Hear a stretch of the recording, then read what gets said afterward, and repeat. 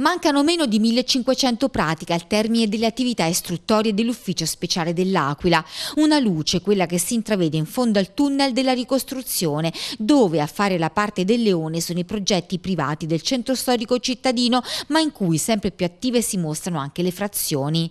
A fare il quadro della situazione è il titolare dell'USRA, Salvo Provenzano, che prima della pausa estiva stila un bilancio. Secondo i dati forniti dall'USRA sono 29.500 le pratiche presentate per un importo complessivo di 8 miliardi di euro, di cui istruite 28.000.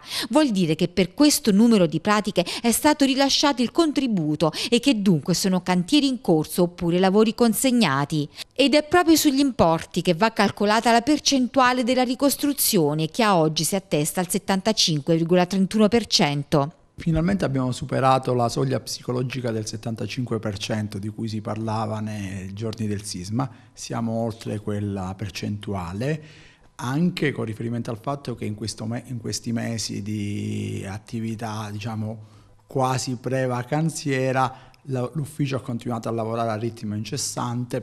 Che cosa è emerso in questi ultimi giorni?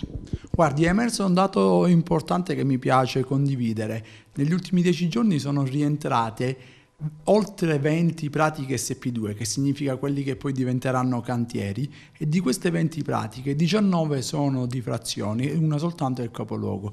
Questo ci aiuterà moltissimo a provare a recuperare il gap di cui si parla sempre, che le frazioni sono indietro, perché nei prossimi due mesi istruiremo sostanzialmente queste pratiche che presto diventeranno cantieri. Il problema cronico del personale.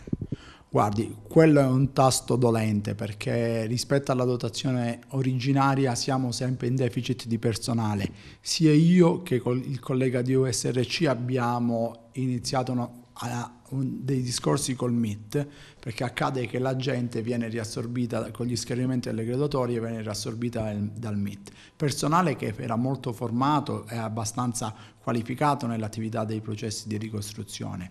Abbiamo avuto dei segnali di apertura da parte del Ministero concedendoci la possibilità di attivare delle collaborazioni con lo stesso personale che è andato via